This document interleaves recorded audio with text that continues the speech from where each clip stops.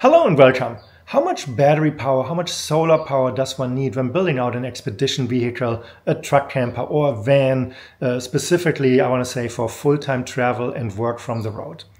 Uh, I went through this experience with my previous rig. I'm building a new expedition vehicle at this point, and all the learnings from my previous rig and previously being out there working boondocking, not using shore power, all these learnings are going into that new rig that is currently being built for me. And uh, I had a few people asking why I went with that specific electrical component selection and everything in that new rig compared to before. So let me go back a little bit in history with my first rig, my first expedition vehicle. Um, I had a Ford F-250 Tremor with a Supertramp camper in the back. Uh, the camper came with 330 watts of solar and 400 amp hour battery power right from the factory. And uh, I was hopeful and under the assumption uh, that should probably be enough solar to recharge the batteries. 400 amp hours should be plenty. Uh, I should be fine. And well, it turned out to be I was not fine uh, I went for my first work week camping and I ran out of power. I ran out of power very quickly. I arrived on a Sunday afternoon and Wednesday morning uh, I had to pull the plug and head back home because I would not make it through the day and uh, I would run out of battery power sometime midday unless a miracle would happen. And well, uh, there was no miracle to happen because it is what it is, the way how the camper came. When I came home, uh, to my surprise, I thought it's like, okay, I'm driving home. There's a lot of DC DC charging. The batteries probably should be fairly full again when I came home. And well, I had less than 8% of battery power generated from my DC DC charging while driving home for two hours. And that's not a whole lot. And uh, I was really shocked. I was, it's like, holy cow, what's going on here? So I started looking at the electrical components in that camper in more detail. And uh, the first thing I noticed is that the uh, solar charge controller was completely undersized. I had 330 watts of solar during this half week of boondocking when I was monitoring the solar. I never got higher than 209 watts, uh, putting electricity back into the batteries. And I was thinking, yeah, it's fall, the sun is not uh, up as many hours as during summer and so on. But no, it's the solar controller because when I started looking at the amperage, uh, the solar controller was running uh, or had a limit of 15 amps uh, going back into the batteries. And that's exactly correlated uh, with the 209 watts of solar. So at 209 watts of solar, uh, I was pretty much at 15 amps and uh, I could not use the remaining 121 watts of solar um, sitting on the roof. Not that I would get 100% out of it. There's always some some leakage, some you're losing some, but I probably should have been more at 280, 290 watts uh, coming in from the uh, solar panels up on top. So I knew the solar charge controller needed to go. Whoa, cut. Let's uh, have a quick break here. Uh, if you don't mind subscribing to my channel, I would really appreciate it. It doesn't cost you anything. I'm trying to reach a thousand subscribers here on YouTube. And uh, yeah, if you hit that subscribe button down there, it really helps me out. And uh, you get also notified uh, when a new video is uploaded. Thank you so much. And now let's continue. I also needed to look at the solar panels because it was just not enough. Uh, I went to my off-road shop, Basil's Garage here in Vista, California, and uh, I talked to him about what is my situation, uh, what are the limits I'm running into, and how can we change this. So together with Basil, we designed a new electrical system, and uh, we decided to uh, rip out the uh, two Victron controllers, one the solar charger, the other one for DC-DC charging, uh, upgrade the wiring to significantly thicker wires uh, so that I could transport more electricity from the alternator into the batteries from additional solar into the batteries. Uh, we decided to go with a Redarc system and use two Redarc BCDC 1250D controllers. Uh, what would these two controllers do? So first of all, from a DC to DC charging perspective, I would get 100 amps going from the alternators into the battery bank. And that roughly amounted to 1400 watts. I just want to mention it both. Um, the amp, I think, is the more important number. So 100 amp hours coming from the DC-DC charging, uh, that would mean that I could bring my battery bank while driving from 0 to 400 amp hours to 100% within roughly four hours of driving. I mean, that's um, theoretically, um, but I would also assume that I don't have the batteries completely empty and so on. But that was the first part with the uh, Redarcs. Um, so I was covered from a DC-DC charging perspective. Uh, solar. So with these um, Redarc controllers, I now was able to get more solar power into the batteries. And the next thing on top of replacing the Victron equipment with the Redarcs, I also doubled the amount of solar on the roof. So I went from 330 watts of solar to 660 watts. And that should bring me to about, I want to say, 580 usable watts uh, of uh, solar power going back into the batteries. Again, there's always some, some leakage or slippage or whatever you want to call it. You never get it 100%, uh, but that was a step in the right direction. In addition, I decided to get some external solar panels in Basil hooked up an external uh, solar panel port.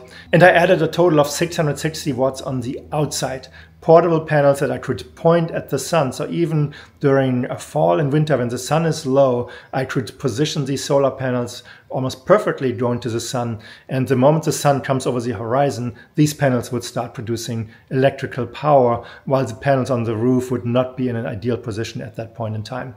And uh, with this combination of doubling the solar on the roof, adding 660 watts of external solar panels, um, getting the DC DC charging in line with what I needed, um, I was in a good spot.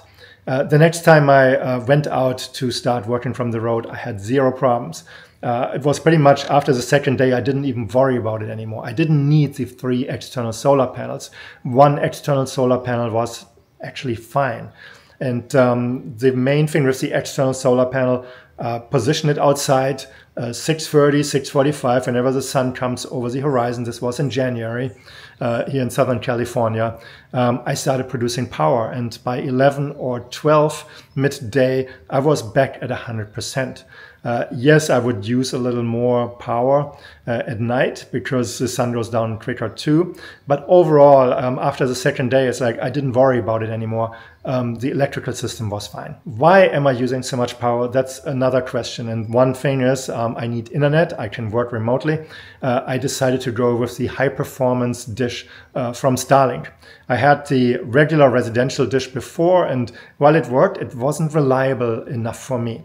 And uh, when I went out the first time, really I had issues being in Zoom meetings and uh, so it's like I had to do something. If I go and want to make this work, I need to make sure that I have reliable internet with high speed. So I went just all out, went with the fastest and biggest dish available from Starlink, and that took care of the problem.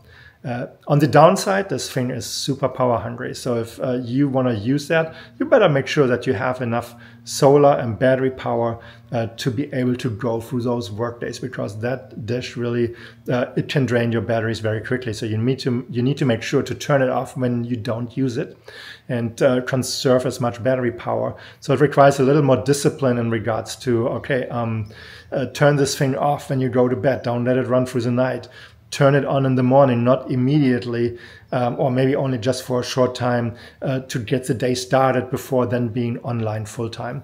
So that thing is power hungry. I also had a 27 inch 4K monitor, and looking at that one, um, for one, it was heavy, uh, but it also consumed a lot of power. And then I'm using two laptops uh, a work laptop, a personal laptop. Um, I work on my personal laptop at night. I'm trying to edit videos here for the YouTube channel, build up a small business to generate some side income. You get the idea. I use a lot of power. It's just how I operate. And uh, well, certain things I can replace, like I replaced the monitor with a 22 inch monitor, one that is specifically designed that can be powered from a laptop. So it uses significantly less power. And um, that also is a big step uh, from my um, configuration, I want to say, uh, to keep my power consumption under control. So understanding how I use the power and what I can do there uh, is an important part, and that's really the important. Uh, I want to say other side of the equation. For one, you need to generate enough power. You need to be able to store enough power, and uh, then you need to look at your power consumption and change your behavior or change components of the power consumption so that everything aligns appropriately. So in my new camper, I will have 800 watts of solar on the roof. Um, I will probably bring two external panels until I'm sure that I only need one external panel because it's also weight. Uh, these things are heavy. And uh, yeah, uh, that puts me, let's say, with the 800 watts of solar on the roof, uh, one external panel at a little at a little over 1,000 uh, watts of solar power that I can generate. As mentioned, the rig has high charging, uh, high DC-DC charging, so 100 amps uh, going in from the alternators. I should be okay uh, I looked at my power consumption and I added on top of it. So uh, I was calculating with about 170 amp hours per day uh, consumption for power. That is much more than I most likely will use, uh, but I want to have a buffer in there. So uh, that puts me at for two days 340 watts, at four days at 680 and it puts me at 1020 for six days. And I'm calculating six days, arriving at a campsite on Sunday afternoon, leaving the campsite on Saturday afternoon to go back into town.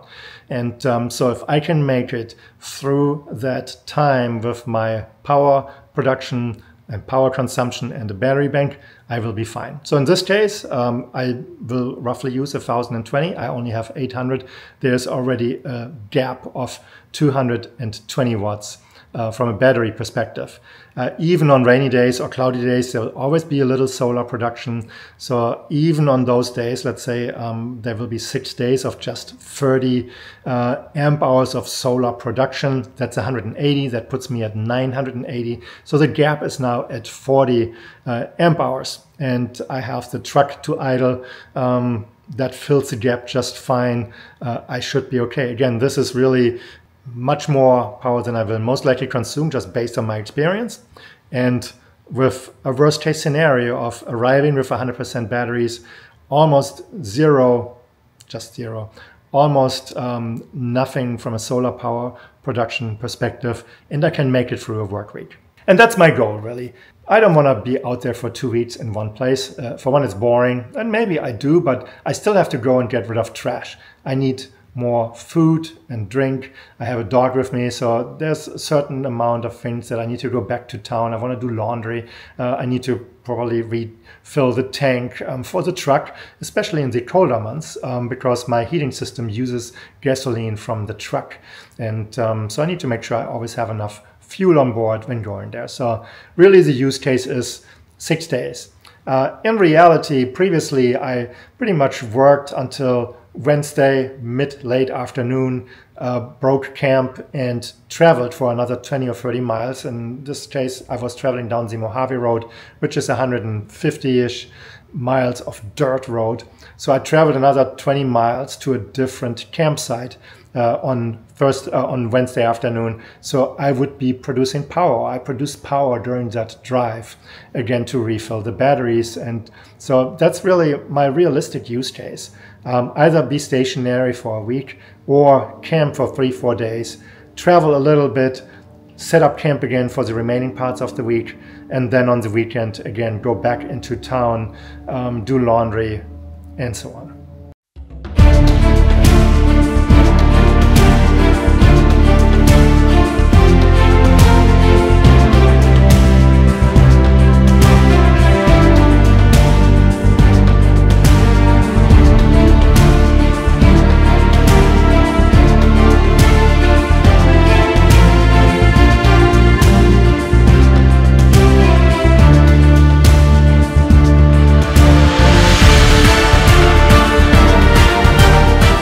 So this applies not just to my expedition vehicle, this applies to RVs, to vans, truck campers, whatever you're building out there. Just think about your use case, especially if you want to travel full time, uh, if you need high speed internet.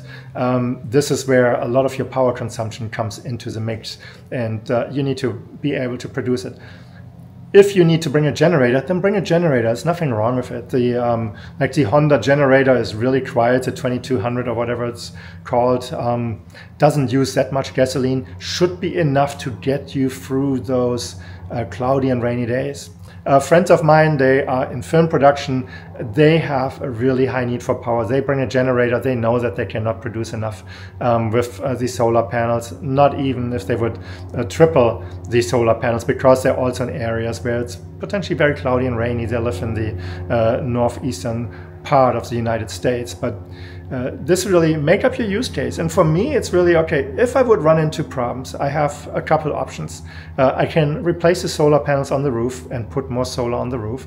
I could probably add another battery uh, to the uh, camper to my expedition vehicle. I could also just buy a generator and um, schlep the generator around, uh, let it run a couple hours, and recharge the batteries, and then I'm good. So um, I should be fine.